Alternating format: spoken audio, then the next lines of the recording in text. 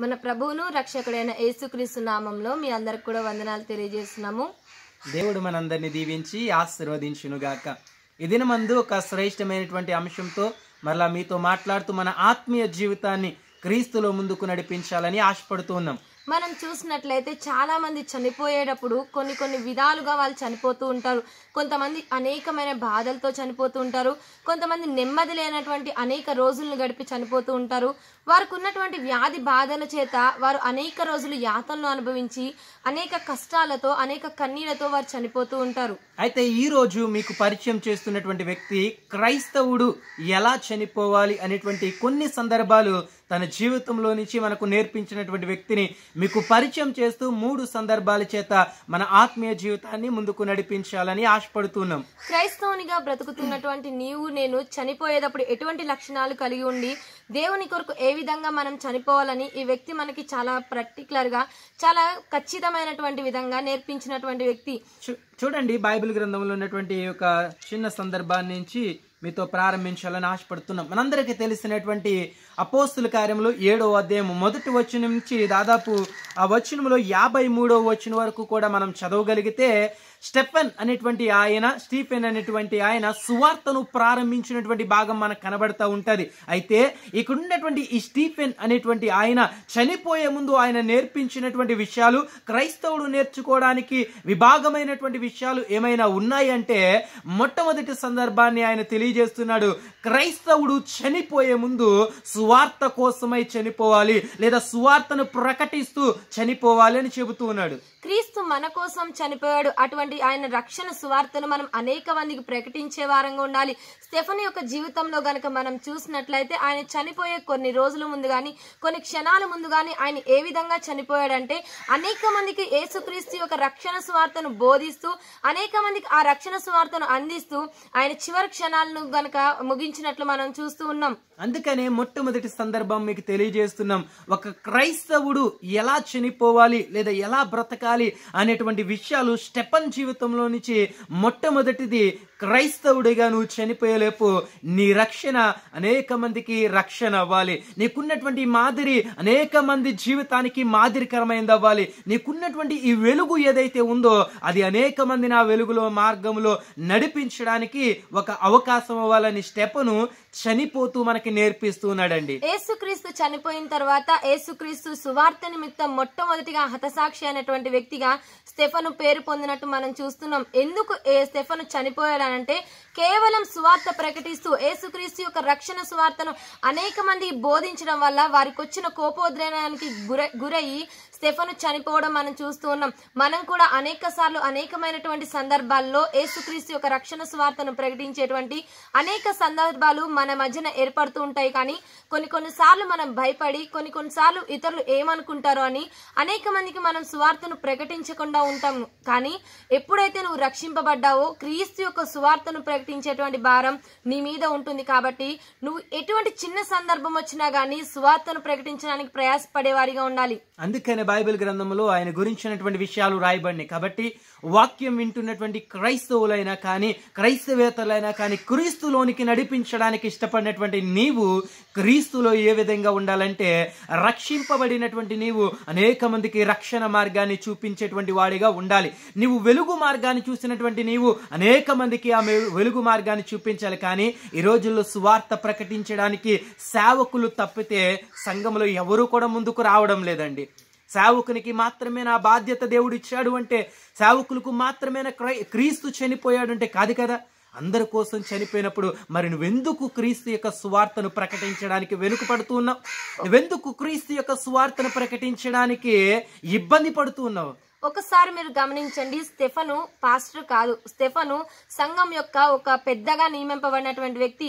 కానీ సువార్త ప్రకటించేటువంటి అవకాశం వచ్చినప్పుడు స్టెఫను నేనెందుకు ప్రకటించాలి? అపోస్తులు ఉన్నారు కదా అని చెప్పేసి తను తప్పిపోలేదు కానీ నేను క్రీస్తు కోసం సువార్తను ప్రకటించాలని క్రీస్తు కోసం సువార్తను ప్రకటించి హతసాక్షిగా మార్చబడినట్టు బైబిల్ గ్రంథంలో మనం చూస్తూ ఉన్నాం.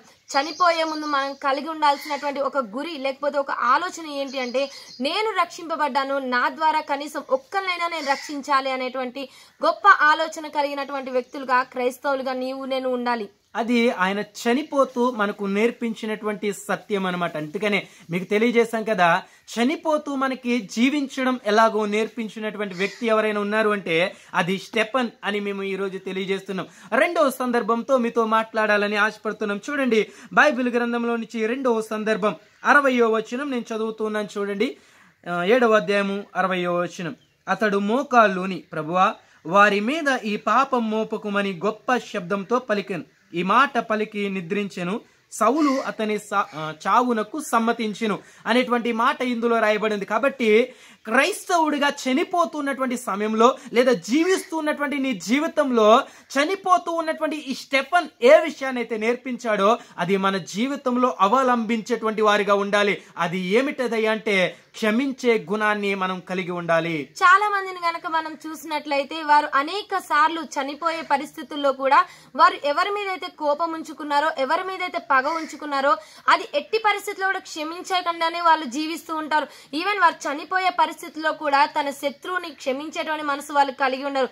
కానీ స్టెఫను మనకి క్రైస్తవునిగా మనం జీవించినప్పుడు ఏ విధంగా మనం చనిపోయేటప్పుడు ఏ విధంగా ఉండాలి అని అంటే మన ఎడల అపరాధములు చేసిన వారిని మన ఎడల దోషము చేసిన వారిని మనం క్షమించే వారంగా ఉండాలని మనకు నేర్పిస్తూ ఉన్నాడు. కాబట్టి వాక్యం వింటున్నటువంటి మీ అందరికీ తెలియజేస్తున్నామండి. ఏమిటి అంటే క్రైస్తవునిగా మనం కలిగి ఉండాల్సినటువంటి లక్షణం ఏమిటి అంటే క్షమాపణ అనేటువంటి లక్షణాన్ని మనం కలిగి ఉండాలి. క్షమా గుణాన్ని మనం కలిగి ఉండాలి. ఎందుకయ్యా? ఆ క్షమా గుణాన్ని మనం కలిగి ఉండాలంటే మత్తి సువార్తలు ఒక మాట తెలియజేస్తుంటాడు కదా ఒకవేళ దేవుని మందిరములో మా యొక్క బలిపీఠము దగ్గర కానుక అర్పించడానికి నువ్వు వస్తున్నప్పుడు నీ మీద వేవనికైనా విరోధ భావం కానీ ఎవరైనా నీ మీద విరోధ భావం కానీ కలిగి ఉన్నప్పుడు నువ్వేం చేయాలో తెలుసా? వారి దగ్గరికి మొదటిగా వెళ్ళి క్షమాపణ పడాలి. లేదంటే వాడిని క్షమించాలి. లేదంటే వాడిని ప్రాధేయపడాలి. అయ్యా నన్ను క్షమించని. అప్పుడు నువ్వు వచ్చి నా సన్నిధిలో కానుకర్పించు అంటున్నాడు కాబట్టి క్షమాపణ అనేది క్రైస్తవునికి నిజమైనటువంటి లక్షణం. కాబట్టి అటువంటి క్షమాపణ జీవితాన్ని అటువంటి క్షమించే అనుభవాన్ని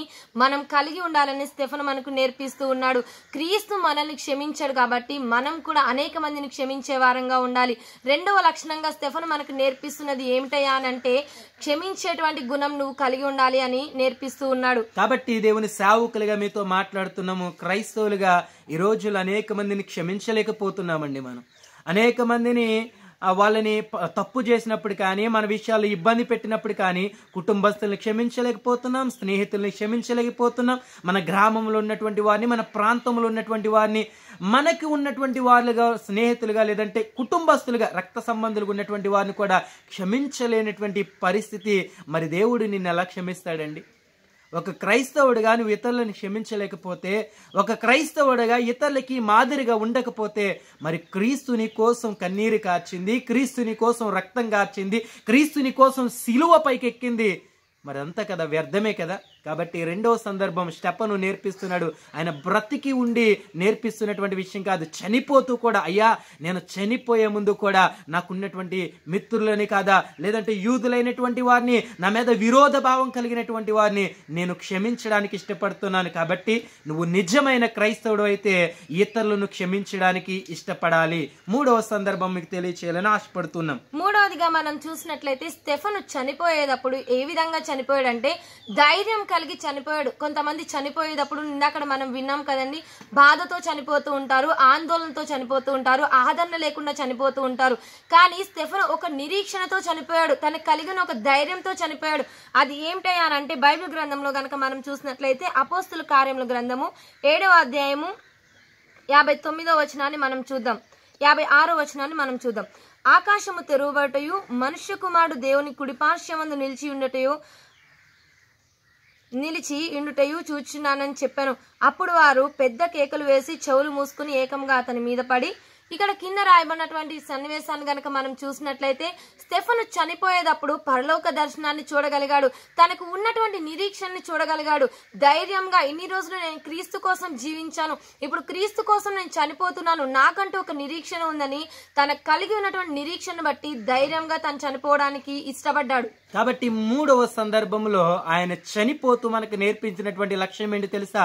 క్రైస్తవుడిగా మనం బ్రతుకుతున్నామంటే మన చివరి క్షణం మనం ఎలా చనిపోవాలో తెలుసా? నేను క్రీస్తులో ఉన్నాను. నేను ధైర్యం కలిగి ఉన్నాను. ఎక్కడికి వెళతావు అని చనిపోయి ఒక క్షణం ముందు నిన్ను అడగగలిగితే అప్పుడు ధైర్యంగా చెప్పగలగాలి. చనిపోయినటువంటి నేను ఖచ్చితంగా పరలోకం వెళ్తాను. అలా చెప్పాలి. అంత ధైర్యంగా నువ్వు ఉండాలంటే నువ్వేం చేయాలి తెలుసా? నువ్వు జీవించినంత కాలం కూడా క్రీస్తులో జీవించేటువంటి వాడిగా ఉంటే నువ్వు జీవించినంత వరకు కూడా యథార్థవంతుడిగా నమ్మకమైనటువంటి వానిగా జీవిస్తే అప్పుడు చెప్పగలుగుతావు.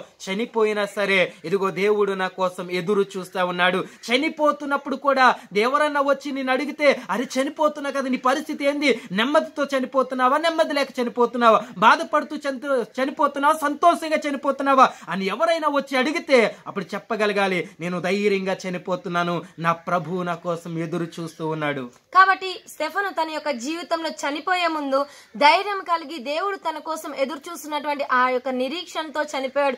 నిజమే కదండి మనల్ని ఎవరైనా చనిపోయేటప్పుడు వచ్చి నిజంగా మనల్ని ఆ ప్రశ్న అడిగితే మనం ఒక్కసారి ఆలోచనలో పడతాం కానీ ధైర్యంగా చెప్పలేం నిజంగానే. ఎందుకంటే మనం జీవించినటువంటి జీవితం అటువంటిది. మనం అనేక సార్లు దేవునికి విరోధంగా జీవిస్తున్నాం. అనేక సార్లు దేవునికి విరుద్ధమైనటువంటి అనేక పాపాలతో జీవిస్తున్నాం. దేవుడు విడిచిపెట్టమన్నా విడిచిపెట్టకుండా ఇంకా మనలో ఏదో తప్పు ఉంచుకొని లోపాలు ఉంచుకొని మనం జీవిస్తున్నాం. చనిపోయేటప్పుడు ఎవరన్నా మనల్ని వచ్చి అడిగితే నిజంగా ధైర్యంగా మనం చెప్పగలమంటారా? కానీ ఇక్కడ స్టెఫన్ కనుక మనం చూసినట్లయితే అక్కడ చెప్తున్నాడు ధైర్యంగా ఆకాశం తెరువబట్టయు ఏసు యేసుక్రీస్తు ప్రభువారు సింహాసనం మించి లేచి తను కిందకు చూస్తూ ఉన్నట్టు ఇక్కడ రాయబడి ఉంది. ఎంత నిరీక్షణ కలిగి స్టెఫన్ చనిపోతున్నాడండి? అటువంటి ధైర్యం అటువంటి నిరీక్షణ క్రైస్తవునిగా నువ్వు నీ జీవితంలో కలిగి ఉన్నావా? అనేది ఒక్కసారి మనల్ని మనం పరిశీలించుకోవాలి. కాబట్టి దేవుని సేవకులుగా మీతో ఈ దినమందు మాట్లాడుతున్నాం.